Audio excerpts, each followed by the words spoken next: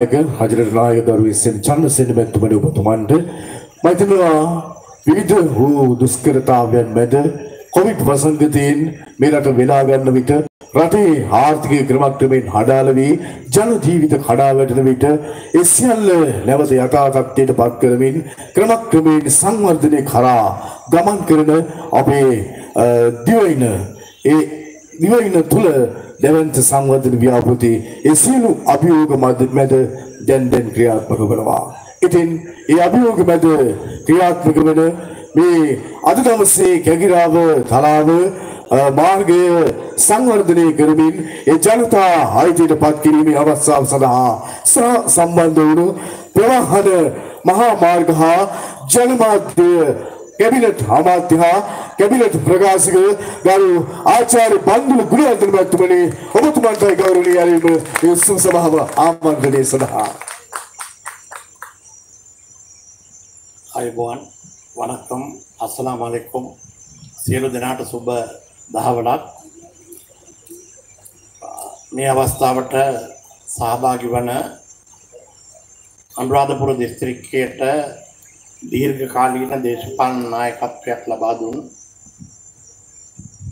මම එක්දස් නමසී අස්පු නමේ පාර්ලිමේන්තුවේ ඉන්නකොට කැබිනට් අමාත්‍යවරයෙක් ලෙස කටයුතු කරපු වඩාම අ, අපි අතර ඉන්න ජේෂ්ඨ දේශපාලන නායකත්වය ලෙස සැලකෙන ප්‍රේමසිංහ මැතිතුමා ඒ වගේම මේ දිස්ත්‍රික්කයට පොදු ජන පෙරමුණ වෙනුවෙන් නායකත්වය ලබා දෙන එස්.එම්. චන්ද්‍රසේන මැතිතුමා මේ දිනවල වැඩිම අමාරු හා අසීරු කර්තව්‍යයට මුහුණ දීම සඳහා ලෝපුරා විවිධ රටවල් ආයතන සංවිධාන සමග සාකච්ඡා පවත්වමින් මේ ජාත්‍යයන් අපි වැටිලා ඉන්න ණය උගුලේ බේරීම සඳහා විශාල උත්සාහයක් දරන තරුණ අමාත්‍යවරයෙකු අපේ සේමසිංහ මැතිතුමා ශ්‍රයන් සේමසිංහ.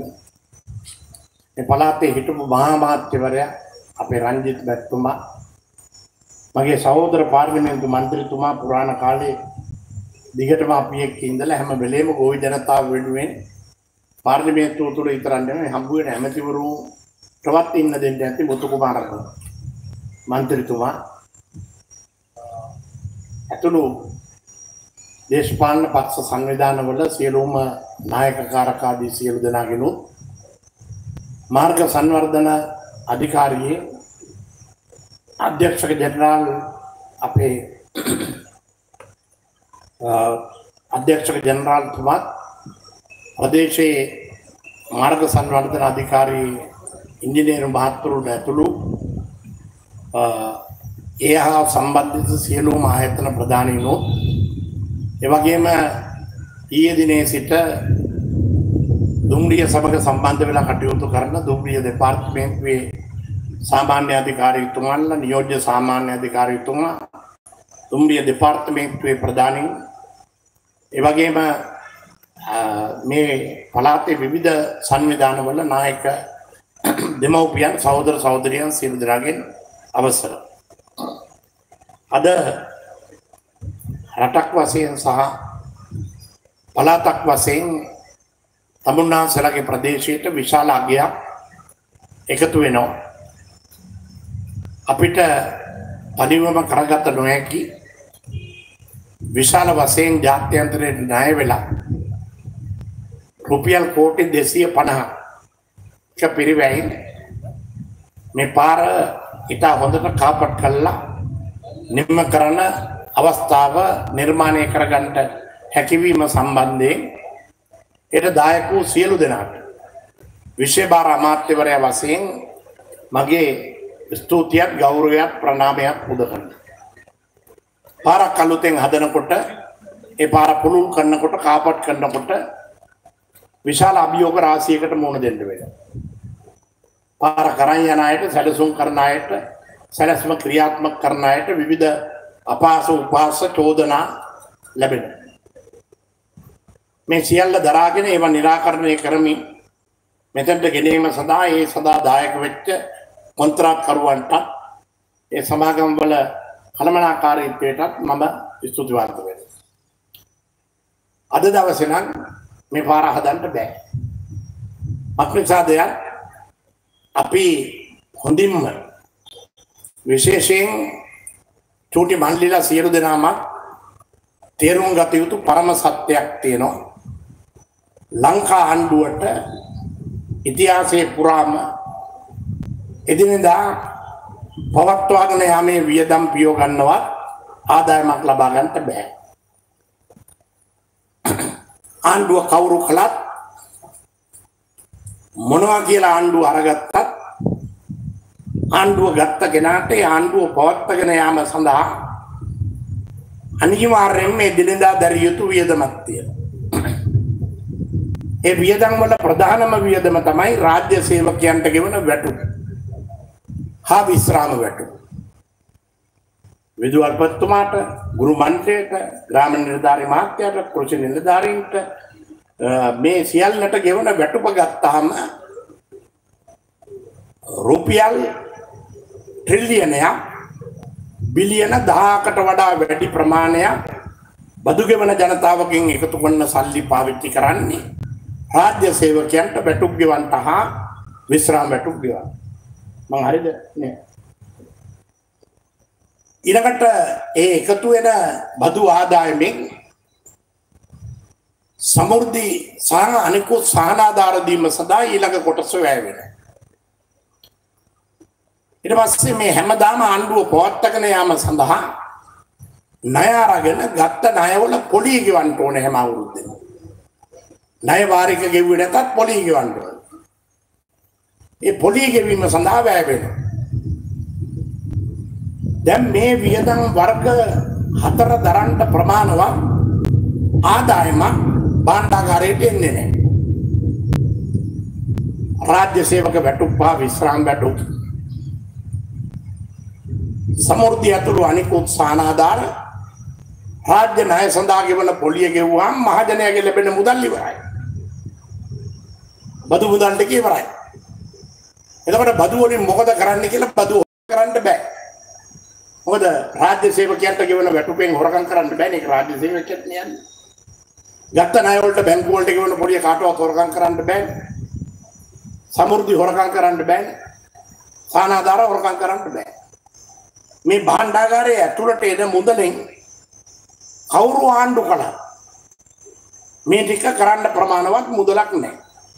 ඒ නිසා මේකට ඉස්කෝලේ ගිය අය කියන්නේ පාසලක ගිහිල්ලා නිසි අධ්‍යාපනයක් ලැබපු අය කියන්නේ රාජ්‍ය අයවැයේ ජංගම ගිණුමේ හිඟියක් ඇති වෙනවා කියලා. මේක පාසලකට ගියේ නැති එක්කෙනෙකුට තේරුම් ගන්න ටිකක් අමාරුයි. රාජ්‍යයේ ජංගම ගිණුම හිංගිය වර්තන ගිණුම හිංගියක් තියෙනකොට ප්‍රාග්ධන වියදම් දරන්න බෑ. ප්‍රාග්ධන වියදම් කියන්නේ මම්මාවත් විදුලිය ජල බස්නා ජල ප්‍රවාහන ක්‍රම යන ආදී ප්‍රාග්ධන වියදම්. මේ වියදම් දැරීම සඳහා ලංකාව කවුරු ආණ්ඩු කර මුදල් ලැබති කවුරු වුණා ඉතිහාසයේ පුරාම දේශීය විදේශීය වශයෙන් ගන්න පුළුවන් උපරිම ණය ප්‍රමාණය ගත්තා. ඒ ණය දෙනකොට සහන ගුණයක් යටතේ ණය දෙන ආයතන තමයි මේ ආසියානු සංවර්ධන බැංකුව, ලෝක බැංකුව, ජාත්‍යන්තර මූල්‍ය අරමුදල මෙවැනි සංවිධාන හා විවිධ අරමුදල් තියෙනවා. සහන ගුණයක් සහිතව ණය දෙනවා. බොහොම අඩු පොලි අනුපාතයක් ගෙවන්න දීර්ඝ කාලයක් දෙනවා. ඒවා ඒ රටවල ජනතාවගේ බදු මුදලෙන් එකතු කරගත්ත මුදල්. ඒ ටික ප්‍රමාණවත් නැති වුණා අපිට. විශේෂයෙන් මූදු වෙරළෙන් තුනෙන් දෙකක් මහපොළොවෙන් තුනෙන් එකක් වෙනම කඩලා ගන්න ප්‍රභාකරන් දීර්ඝ කාලීන යුද්ධයක් පවත්වාගෙන යනකොට ඒ යුද්ධයට අවශ්‍ය මූණ දීම සඳහා රට බේරා ගැනීම සඳහා යුද උපකරණ හා අනික් බොහෝ දේවල් ආනයනය කරන්නට අපි ණය ගත්තා. යුද්ධ නිම වුණාට පස්සේ උතුරු වසන්තය නැගෙනහිර වසන්තය ප්‍රභාකරන් අවුරුදු 30ක් විනාශ කරපු සියලු දේ තිබුණට වඩා හොඳට හදන්න කෝටි ප්‍රකෝටි ගණන් ණය ගත්තා. එතකොට අපිට මේ ජාත්‍යන්තර සංවිධාන වලින් දෙන සල්ලි මදි වෙනකොට ආණ්ඩු විසින් ජාත්‍යන්තර වෙළඳ පොල්ට ගිහිල්ලා ස්වෛරිත්ත බැඳුම් කරණිකුත් කළා ණය ගත්තා. Sovereign bonds. Sovereign bonds issue කළා ණය ගන්නකොට පසුගිය යහපාලන රජයේ පමණක් ඇමරිකානු ඩොලර් බිලියන 12කට වඩා වැඩිය ණයට ගත්තා මේ සංවර්ධන බැඳුම් කරහලා. එතකොට අපිට මුළු ජාතියටම තියෙන විදේශ වත්කම් ප්‍රමාණය ඇමරිකානු ඩොලර් බිලියන 3.5යි. දැන් අපි අර පව අවුරුදු පහට විතරක් ගත්ත බිලියන 12. අන්තිමට රට ඇතුලේ පසුගිය කාලය තුල පාස්කු ප්‍රහාරය එල්ල වෙලා සංචාරක ව්‍යාපාරය සම්පූර්ණයෙන් කඩා වැටුණා. ඒ සංචාරක වලින් ලැබෙන ඩොලර් රටට ලැබුණේ ඊට පසුව කොයිඩ් 19 වසංගතය නිසා ලෝකේ හැමතැනම රටවල් වැහුවා. අපේ වරාය වැහුවා, ගුවන්තොටුපළ වැහුවා. කර්මාන්ත ශාලා වැහුවා, වැඩපොළවල් වැහුවා. නිෂ්පාදන ක්‍රියාවලිය සම්පූර්ණයෙන් කඩා වැටලා ආර්ථිකය පස්සට ගියා. අර සුපුරුදු විදියට ගෙවාගෙන ආපු ණය ගෙවන්න බැරි වුණා. තොර ආණ්ඩුව කිව්වා මෙතනින් එහාට ණය ගෙවන්න බෑ කියලා. දැන් මේ තත්ත්වයේ යටතේ ණය ගෙවන්න බැරි නම් බංකොලොත් නම් වෙනත් ගෙවින් කරන්න බැරි නම් අපිට රටට බඩු ගේන්න බෑ. මොකද ප්‍රමාණවත් විදේශ සංකේතයක් නැත්තම් කනිජ තෙල් නැවෙනවා. නැවට සල්ලි ගෙවන්න සල්ලි නැත්තම් නැව හැරිලා යනවා. පෝර නැවෙනවා. සල්ලි ගෙවන්න ඩොලර් නැත්තම් පෝර නැව යනවා. ගෑස් එනවා. ගෑස් නැත්තම් සල්ලි ගෙවන්න නැත්තම් හැරිලා යනවා. ඒකට දේශපාලන උත්තරයක් නැහැ. ආණ්ඩු කරන කෙනාට කියන්න බෑ ගණන්කාරයෝ වගේ තෙල් ගෙනව නම් බාලා යනවා. සල්ලි දෙන්නේ නැහැ. එහෙම ගණන්කාරයන්ට රටවල් ගෙනියන්න බෑ. චන්නිකමට ගිහිල්ලා ඒ ආයතන වලට පැනලා එහෙම ලෝකෙ රටවල් දුවන්න බෑ. ඒ ලෝකෙ තියෙන ක්‍රමවේදය අනුව යන්න නම් අපිට මේ ගත්ත ණය ගෙවන තත්ත්වයට පත් වෙන තෙක් කවුරුවත් ණය දෙන්නේ නැහැ. එනිසා දැන් රට පුරාම මේ ඔක්කොම චන්දසේන ඇමැතුමත් මේ ලියුම් දෙන අයත් කියන්නේ අයිරෝඩ් ව්‍යාපෘතිය යටතේ තිබුණා හොඳට පාර කඩලා තියෙනවා. දැන් මිනිස්සුෙකුට යන්න බෑ. මේක හොඳට අපිට තේරෙනවා. අපි RD එකේ සියලුම ඉංජිනේරු මහත්තුරු අන්තිම අවම වශයෙන් මිනිස්යන්ට යන්න පුළුවන් වෙන විදිහට පාර යන්තම් පැච් කරන්න. කොච්චර මුදලක් ඕනේද?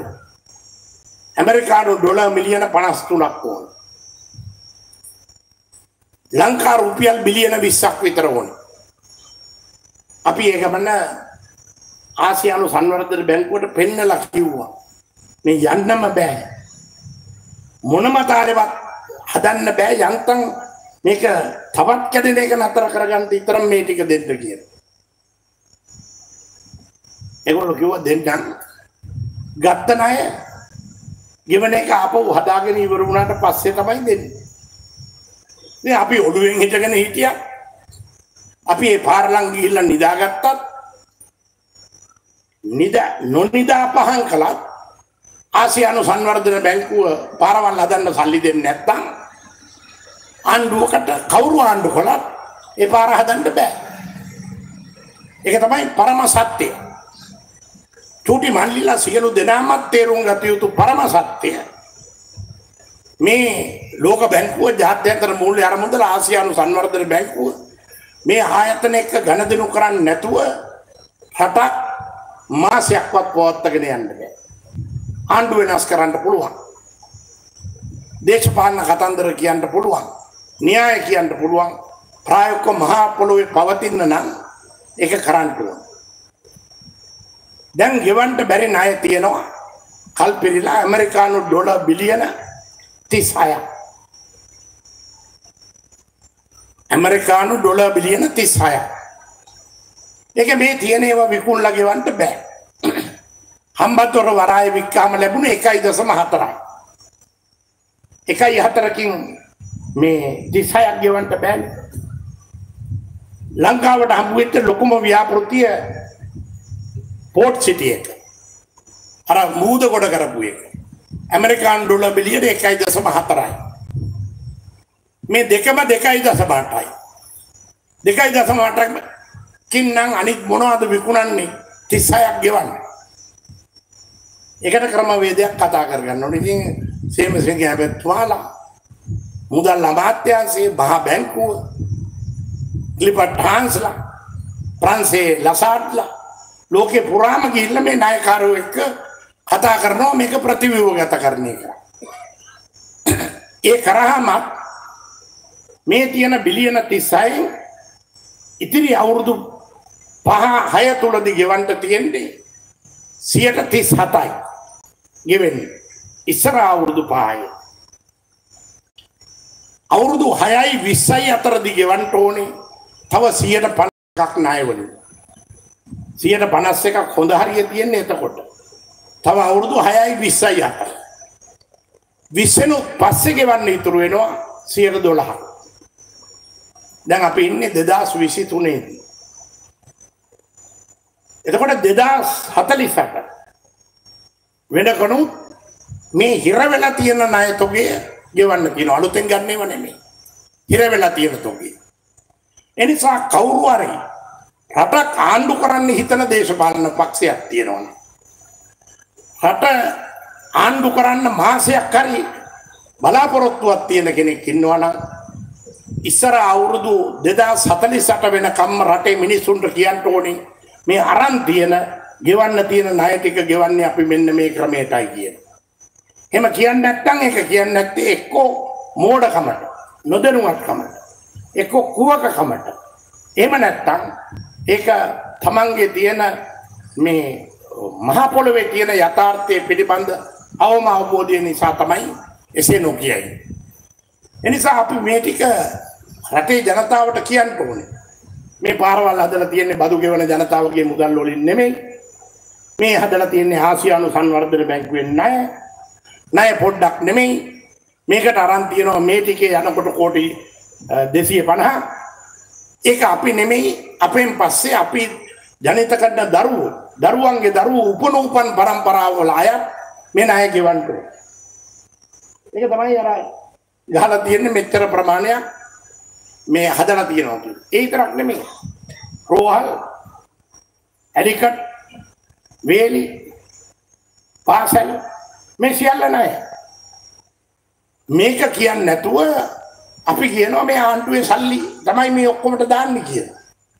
මේ ඇත්ත රටේ ජනතාවට කියන්නේ නැතුව ආණ්ඩු ඉල්ලනවා නම් දේශපාලනය කරනවා නම් ඒක නොකළ යුතු කාර්යයක් කියන එක තමයි මේ රට වැටුණට පස්සේ කියන්න වෙන්නේ. එහි ජනතාවට නොකිය මෙසේ ගමන් කරපු නිසා තමයි මේ නම වෙනිදා වෙනකොට ගෑස් නැහැ විදුලිය නැහැ. මොනවාද? ඉන්ධන ලබා ගන්න දවස් ගාණක් පොලිමේ ඉන්න ඕනේ. ජනතාවට උහුල ගන්න බැරුව ඒ අතර අර මේ ලෝකෙම ප්‍රායෝගික යථාර්ථය පිළිබඳ අවබෝධය නැති අය කුත්ති කළා අර දේශපාලනඥයෙක්ගේ මහජන නියෝජිතයන්ගේ ගෙවල් ගිනි තියලා ප්‍රචණ්ඩත්වය ඇති කරනවා. ප්‍රචණ්ඩත්වයෙන් උතුරේ වුණත් දකුණේ වුණත් ප්‍රශ්න විසඳන්න බෑ. අපි පුරා දශක දෙක තුනක් යකඩ ගැටෙන අමීරි සද්දේ උණ්ඩේ අමීරි සුවඳ දුක වේදනාව මරලා තෝණිය අහලා තියෙන. මිනිස්සු මරලා මිනිස්සුගේ අතපය කපලා ගෙවල් දොරවල් ගිනි තියලා මිනි මරලා මරපු මිනි දැනිස්සෙන් පාලට දාලා වලලලා වලලන්ට කියලා නියම කරලා මේ ඔක්කොමට අපි දසක් ගානාවක් බින්ද જાතිය. තව දුරටත් අපිට මේ ගමන මේ විදිහට යන්න බෑ. ඒක නිසා අපි රටක් වශයෙන් නැවත නැගිටින්න නම් අපි මේ සියලු දෙනා එකතු වෙලා මේ රටේ නිෂ්පාදනය වැඩි කරලා ගත්ත ණය ගෙවලා අපනයන කරලා ආදායම් වර්ධනය කළා අලුතෙන් හිතන්න පුරුදු වෙච්ච යතියක් වෙන්න ඕනේ. ඒ නිසා තමයි අපි ඊයේ දිනේදී ආරම්භ කළේ මේ පළාතට ලැබෙන බහඩ ටික උතුරු පළාත උතුරු මැද පළාත නැගෙනහිර පළාතට කෙලින්ම වරායේ ඉඳන් කන්ටේනර් වලින් ඇවිල්ලා මීන්තලේ බාලා ගබඩා කරලා තියන් මේ පළාත් වල භූමිජනයන් නිෂ්පාදනය කරන ටික අගේ එකතු කළා අපරායනේ සඳහා සකස් කළා.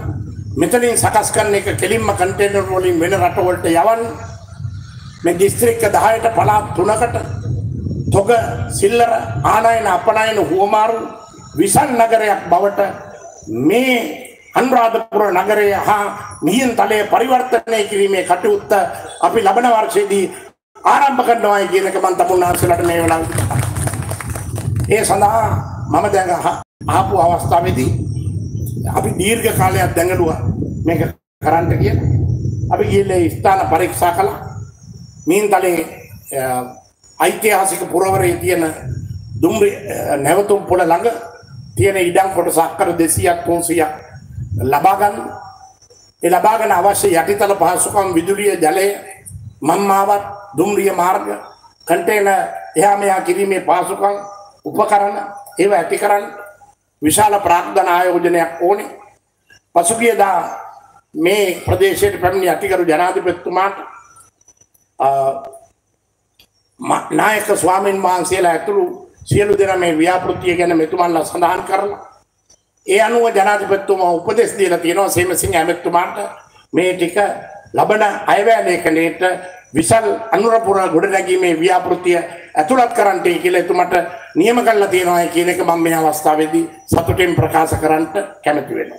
ඒ නිසා එය ප්‍රායෝගික යථාර්ථයක් බවට පත් කරගත්තොත් මේ පළාත්වල ගොවි ජනතාවටත් අනිකුත් අයටත් වැඩි ආදායමක් ලැබෙයි. රක්ෂා අවස්ථා ප්‍රමාණයක් ජනිත වෙයි. පලාතට අලුත් ආයෝජන විශාල ප්‍රමාණයක් ඒ තුළින් ඓතිහාසික අනුරාධපුර යුගයේ පැවතුන. වඩා දියුණු වෙළඳපොළ තත්ත්වයක් නිර්මාණය කර ගැනීම සඳහා අපේ දුම්රිය දෙපාර්තමේන්තුවත් මාර්ග සංවර්ධන අධිකාරියක් අනිකුත් ආයතන හා සංවිධානයත් එකතු වෙලා අපි කටයුතු කරන බව සඳහන් කරමින් ඒ කරන්නේ පුළුවන් කමකට නෙමෙයි. අපි කෙසේ හෝ මේ දෙක අමාරුවෙන් කරන්ට අපි සැලසුම් කරලා තියෙන්නේ. අපි දැන් අනුරාධපුරයේ සිට ඕමන්තේ දක්වා පැයකට කිලෝමීටර් 100ක් යන්න පුළුවන් ආකාරයට පාර සම්පූර්ණයෙන්ම ඉන්දියානු ණය යෝජනා ක්‍රමයේ යටතේ මේ ණය මේ පාර අනුරාධපුරේ ඉඳන් හදලා තියෙන්නේ ඉන්දියානු ණය යෝජනා ක්‍රමයේ යටතේ කවුද චන්ද්‍රසේන ඇමෙතුමා කිව්වා මං ඇවිල්ලා බස් කීයක් දුන්නා 27ක් දුන්නා අපි අනුරාධපුර දිස්ත්‍රික්කෙට මේ ණය ඉන්දියන් ආයෝජනා ක්‍රමයටදී බස් ගෙනල්ලා තියෙන ණයට. මේක ලැජ්ජ වෙන්න දෙයක් නැහැ. අපේ ළඟ මේ භාණ්ඩාගාරයේ පිටිය නැහැ. මේ හම්බ වෙන මුදල් ටිකෙන් හැම මාසෙම රාජ්‍ය සේවකයන්ගේ වැටුපු විශ්‍රාම වැටුපුයි කියලා සමෘද්ධිය ඇතුළු සානාධාර ටික කියලා ගත්ත ණය සඳහා පොලි කිව්වට පස්සේ ඒක ඇතුලේ මුකුත් ඉතුරු වෙන්නේ නැහැ. ඉතින් බස් එකක් ගත්තත් දැන් මට මේ ඊටම ලොකු වමනාවක් තියෙනවා ලෝකෝමෝටිව්ස් දුම්රිය එන්ජින් අඩුම තරමේ 20ක් ගන්න. කොහොම ගන්නද?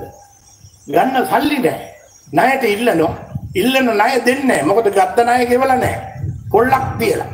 ඉතින් ඒ නිසා මේ තියෙන මේ මේක රටේ මහා ජනතාව වශයෙන් අපි සියලු දෙනා මේ තත්ත්වයේ තේරුම් අරගෙන ඒ තත්ත්වයට මුහුණ දෙන්න තියෙන එකම ක්‍රමය රජයේ ආදායම වැඩි වෙන්න ඕනේ ආණ්ඩුවේ වියදම් පුළුවන් තරම් අඩු වෙන්න ඕනේ.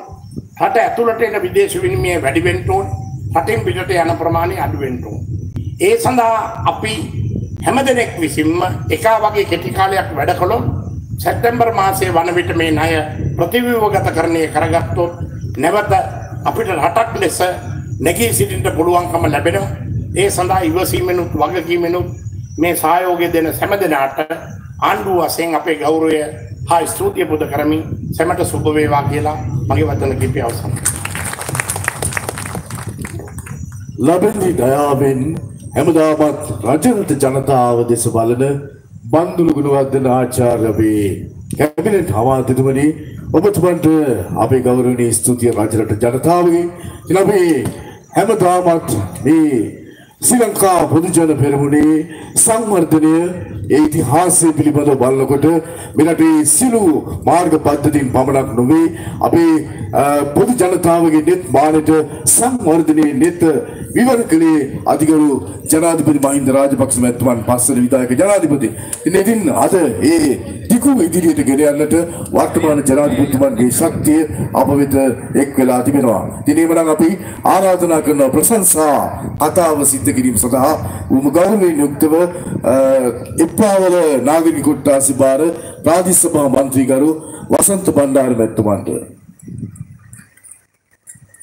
දවසක් වේවා සියලු දෙනාටම ගරු බ- ආචාර්ය බන්දුරුමාල අමාත්‍යතුමනි එස්.එම්. චන්ද්‍රසේන අමාත්‍යතුමනි සයන් සේමසිංහ අමාත්‍යතුමනි ඒ වගේම හිටපු අ, ම- පාර්ලිමේන්තු මන්ත්‍රීවරුනි පළාත් සභාවේ සභාපතිතුමා ඇතුළු අ, අ, මාර්ග සංවර්ධන අධිකාරියේ අ, පළාත් අධ්‍යක්ෂකතුමා ඇතුළු අ, ප්‍රධාන ඉංජිනේරුතුමා සහ වි- විධායක ඉංජිනේරුතුමා ඇතුළු සියලුම රාජ්‍ය නිලධාරීන් ඒ වගේ මේ අවස්ථාවට සම්බන්ධ වෙන අ, මාගේ අ, ප්‍රදේශ සභාවේ සියලු මන්ත්‍රීවරු සහ ක්‍රියාකාරී දුසිල දැන අවසරයි. මම හිතන්නේ ඔයගොල්ලෝ කතා ගොඩක් අහලා වෙහෙස මහන්සිලා ඉන්නේ. ඇත්තටම 1800 ගණන් වල මේ පාර හැදුවට පස්සේ මේ පාරට අත තිබ්බ එකම අවස්ථාව මේක තමයි. ඔයගොල්ලෝ අපි ඔක්කොම දන්නවා. අපි වලවල් වල වැටි වැටි තමයි ගරු ගමතුමනි ගියේ. මේ පාරේ එක බස් එකක්වත් ගියේ නෑ. ඉන්ටර්සිටි බස් එකක්වත් ආවේ නෑ. දැන් මේ පාර ලස්සනට හදලා දෙන්න මහන්සියක් ගත්ත අපේ එස්.එම්. චන්ද්‍රසේන ඇමතුමා. ඒ වගේම අපේ හිටපු ප්‍රධාන අමාත්‍යතුමා අපි කෘතඥ වෙන්න ඕන. ඒ වගේම RD ගේ නිලධාරීන් කට්ටියත් සමහරවල්ලාට රෑ 12ට එකටත් ඇවිල්ලා මේ පාර තිබ්බ අඩුපාඩු හෙව්වා. අපි අ, මතක් කරනවා අපේ වජිරා ඉංජිනේරුතුමිය අපේ මහමැතිතුමා අ, එතකොට එස්.එම්. චන්ද්‍රසේන ඇමතුමා මෙතන ඇවිල්ලා ඒ මේ ඔක්කොම එකතු වෙලා මේක කරේ නැත්නම් අද අපිට පාර නැති වෙනවා. ඒ වෙලාවේ පාර පටන් ගත්තේ නැත්නම් මේ අරගලයත් එක්ක අපිට අද පාරක් නැති වෙනවා. ඉතින් ප්‍රදේශවාසී ජනතාව වශයෙන් අපි සියලු දෙනාම එකතු වෙලා අපේ එස්.එම්. චන්ද්‍රසේන ඇමතුමාටත් අ, අපේ මහා මාත්‍යතුමාටත් විශේෂයෙන්ම අපි මතක් කරන්න ඕන අ, ජොන්සන් ප්‍රාම් දෙමතුමා මේක පටන් ගත්තා. එතුමා දෙවන්ත කාර්යභාරයක් කරා. එතුමා ගැන පොඩ්ඩක් හරි මතක් කරන්න ඕන අපි කුතුහල ගන්න මනුස්ස වශයෙන්. ඒ වගේම බන්දුල ගුණවර්ධන ඇමතුමනේ ඔබ ඔබතුමාටත් අ, ගෞරව ප්‍රණාමය පුද කරනවා. ඉතින් අ, හොඳ උත්සවයක් කරලා අ, අපිට රජරට අපිට අ, මම හිතන්නේ හැම පාරක්ම හදලා තිබ්බ මේක ඊටාම ජනතාව ගොවි ජනතාව ප්‍රයෝජනක් වෙච්ච පාරක් හදලා දෙන්න සම්බන්ධ වෙච්චි නායකත්වයේ ගත්තු එස්.එම්. චන්ද්‍රසේන ඇමතුමාටත් ඒ වගේම අපේ මහා මාත්‍යතුමා ඔබතුමාටත් ඒ වගේම මේ RD ගේ නිලධාරිතුමාලා මම හිතන්නේ දැවන්ත කැපකිරීමක් කරා. ආර්ථික අර්බුදයත් එක්ක මේකේ පාර හරියට කරගන්න බැරි වුණා. නමුත් 90කට වැඩි කරගන්න බැරි වුණා. අර අමාත්‍යතුමනි ඉල්ලීමක් කරනවා. පොඩි චූටි අඩුපාඩු ටිකක් තියෙනවා. ඔබතුමාට මම ඉල්ලීමක් කරලා ලිපියකුත් දෙනවා පුළුවන් නම් අ, මුදල් ටිකක් දාලා ඒ අඩුපාඩු ටිකක් අවල දෙන්න. එතකොට අපිට සතුටු වෙන්න පුළුවන්. ඉතින් එහෙනම් ඔයගොල්ලෝ සියලු දෙනාටම අ,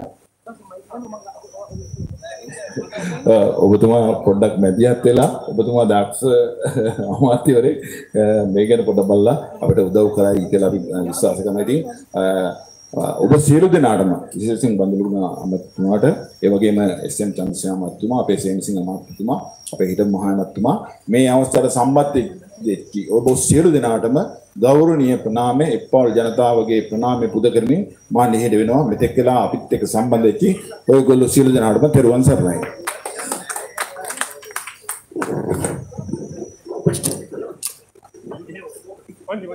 හොඳයි වැටුණු තැනින් යළි නැගිටිමු වැටි වැටි නැගිටිමු මෙරට නැවතත් සස්සිත ස යාර ඔබතුමා ගැසට් වලට නිකුත් කරලා තියෙනවා රැඟුම් පාලක මණ්ඩලයට මේ ගාස්තු වැඩි කරලා ඒක ගැන පොඩ්ඩක් දැනුවත් වෙන්න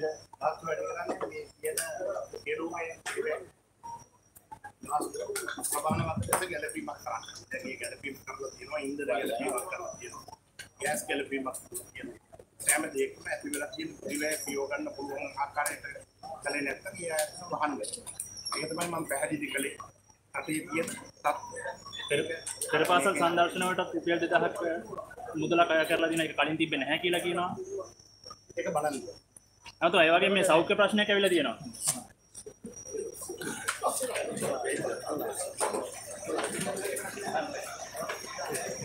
හොඳයි එහෙමනම් අද දවසේ උසස් සභාවේ කටයුතු මෙතකින් සමාප්ත කරනවා. ඔබ සියලුම දෙනාට විජයශ්‍රී ජයසීමා වූ සමිඳ පිහිට පදමින් වැඩසටහන අවසන් කරනවා.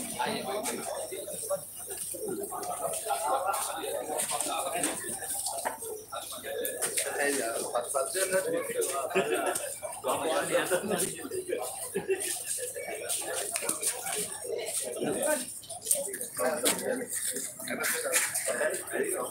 would